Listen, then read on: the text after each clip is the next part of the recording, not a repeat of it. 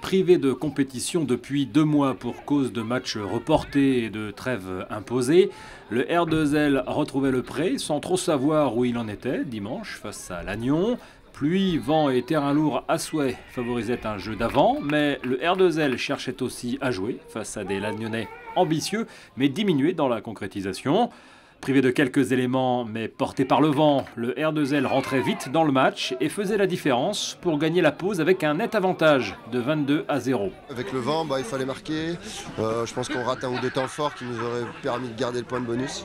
On approche des lignes, on a été peut-être, euh, c'est peut-être le manque de compétition, si on a manque de patience un peu près des lignes. On aurait dû scorer, je pense, deux fois en première mi-temps.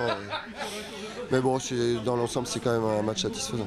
À la reprise, Lannion profitait et du vent et d'une baisse de régime des locaux pour se montrer à son avantage, avec deux essais non transformés, mais assez de points pour priver de bonus les rouges et noirs qui s'imposent au final 29-10. Les conditions pas simples aujourd'hui, donc euh, on s'est bien remis euh, dans le sens du jeu.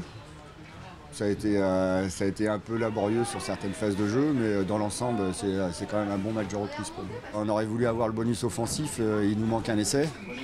Et bon, bah, contre le vent sur la deuxième mi-temps, ça, a vraiment été compliqué, beaucoup plus dur.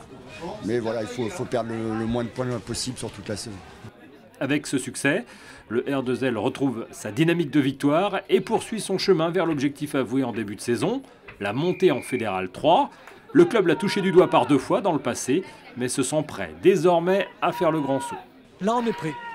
On est prêt, il n'y a plus qu'à euh, finir la saison en beauté et préparer. Mais on est déjà en train de préparer, euh, de se préparer au cas où on arriverait à monter euh, comme on l'espère. On veut absolument monter parce que c'est notre niveau euh, qui est intéressant pour tout le monde. C'est un objectif pour le bureau, c'est un objectif pour le club, c'est un objectif pour les joueurs, c'est un projet fédérateur l'entente Lanester-Locunel est toujours leader du championnat honneur avec encore un match en retard à disputer contre Concarneau.